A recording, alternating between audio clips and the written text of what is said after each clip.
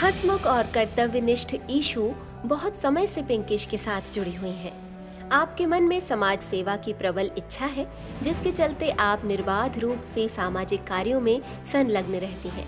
आपके शांत और ज़िंदा दिल स्वभाव की वजह से आप सभी की प्रिय हैं पहले मेरठ में और अब लखनऊ में रहकर आप पिंकिश के साथ कार्य कर रही हैं आप बेहद निष्ठापूर्वक पैड बैंक ड्राइव का आयोजन करती हैं और पूरे मनोयोग से महिलाओं और लड़कियों को मासिक धर्म स्वच्छता के विषय में जागरूक करती हैं।